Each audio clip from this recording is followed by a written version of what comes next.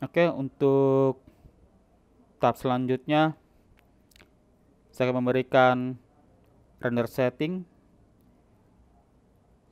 Saya akan klik pada render setup.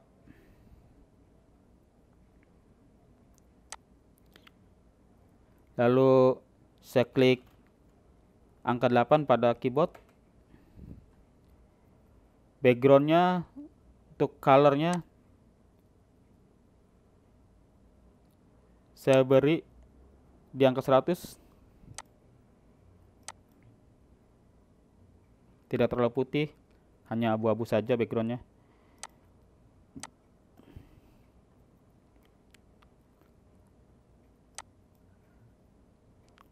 Oke sebelumnya saya akan mencoba untuk merendernya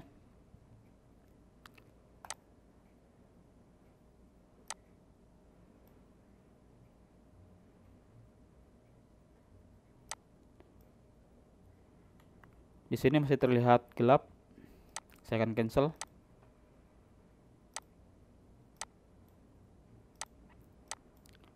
Saya akan merubah settingan defaultnya. Di sini saya pilih bucket, lalu saya checklist pada lock noise patternnya. Lalu pada environmentnya JE nya saya checklist. Lalu saya ini colornya saya rubah menjadi warna putih. Color mappingnya saya rubah menjadi linear multiply. Lalu defaultnya saya rubah menjadi advance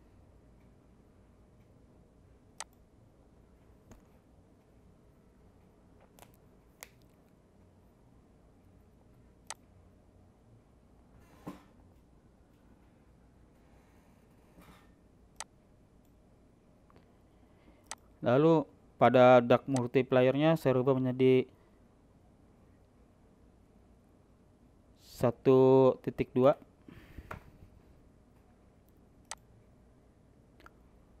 lalu pada primary engine saya rubah menjadi inheritance map. Di sini saya rubah menjadi low saya checklist pada show direct like lalu pada sequence saya menjadi top bottom. Lalu pada render element saya klik add. Lalu saya pilih V-Ray Denoiser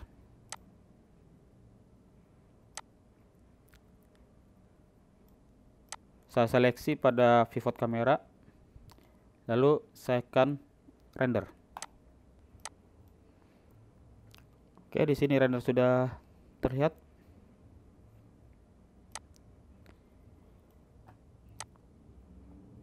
Saya akan coba render dengan lebih besar lagi. Untuk output size-nya saya rubah menjadi 6000 kali 6000 agar terlihat lebih detail lagi. Oke, mari kita lihat hasil renderannya.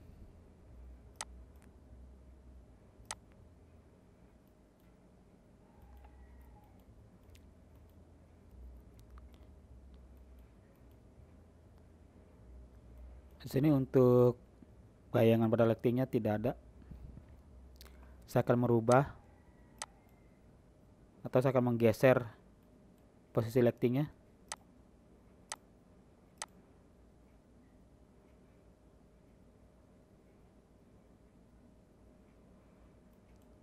Akan tarik ke samping.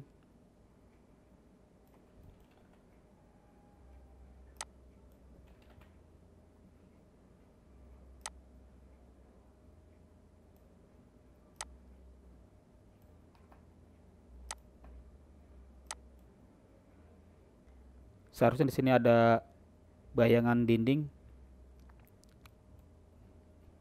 dari lightingnya saya akan mencoba render ulang.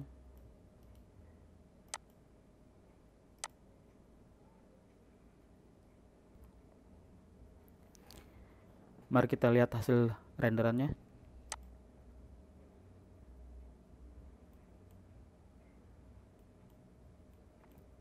Sini terlihat tipis bayangannya.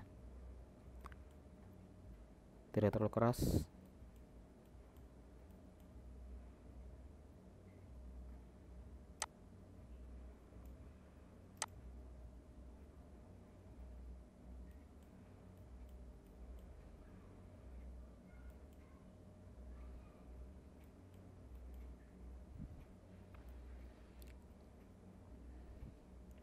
Oke, saya rasa sudah berakhir untuk pembuatan denah dalam tahap-tahapannya.